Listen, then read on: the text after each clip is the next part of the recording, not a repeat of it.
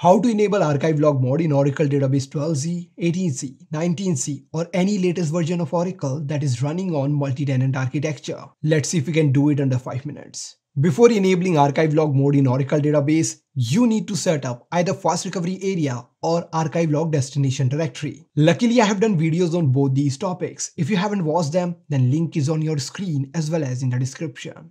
Now without wasting much of your time, let's come directly on the topic and learn how to enable archive log mode in Oracle database. I will be performing the procedure of enabling archive log mode on Oracle database 19c.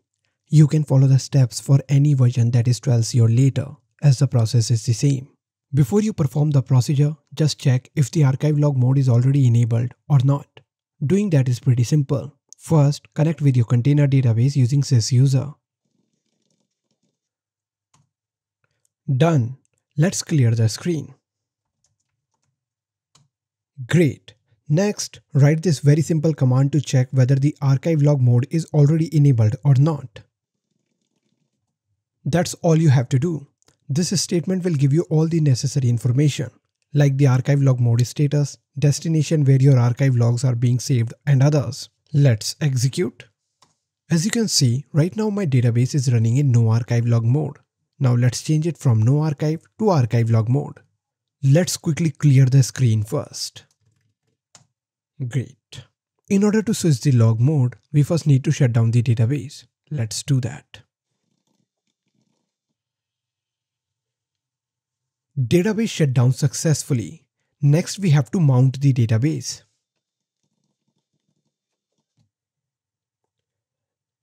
Database mounted successfully. Now we will switch the log mode from no archive log to archive log mode. Let's do that. But first, again let's quickly clear the screen. Done. Now let's switch the log mode. That's it.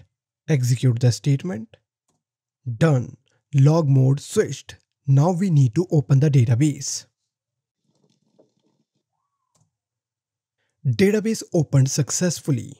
Now we will check if the log mode got switched or not. This time, instead of writing archive log list command, we will query the v $database view like this.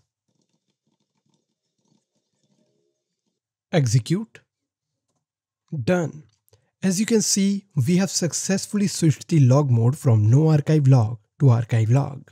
That's it. That's how we configure archive log mode in Oracle Database 12c or later versions. For more details, check out the corresponding blog, link is in the description. Hope you enjoyed watching. If so, please hit the thumbs up button. If not, press the thumbs down. But make sure to comment and let me know what you like or not in the video. I would love to hear your observations. Most importantly, make sure to subscribe to the channel and press the bell icon to get notified for the next video. Thanks for watching. This is Manish from RebellionRider.com.